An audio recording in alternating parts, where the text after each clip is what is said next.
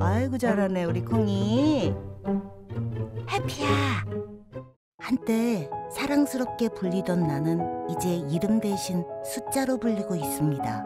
더 이상 알아봐주는 이가 없다면 이 숫자와 저는 영영 사라지겠죠? 유실 유기동물을 예방하기 위해 동물학대, 유기금지, 동물 등록 참여 캠페인을 펼치고 있습니다.